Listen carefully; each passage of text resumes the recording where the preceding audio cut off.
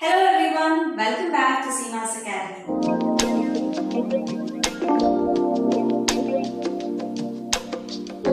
Today we are going to discuss about what do we mean by an economy and central problems of an economy. Shall we start with the video?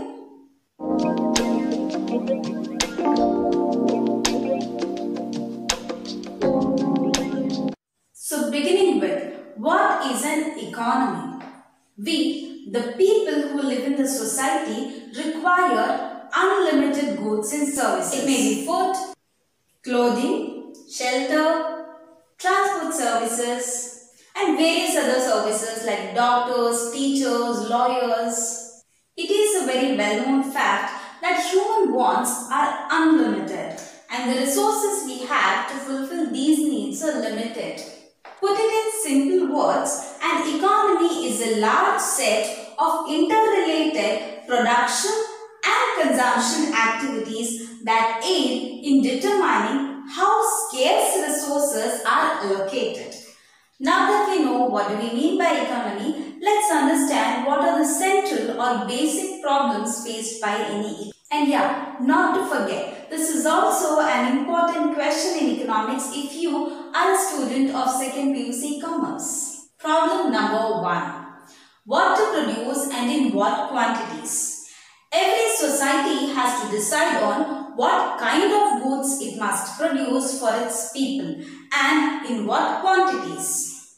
Whether they should go for producing much of food or clothing or to have more luxury goods, whether to have more agricultural goods or to have much of industrial goods, whether to invest more in health and education or to invest more in building military services.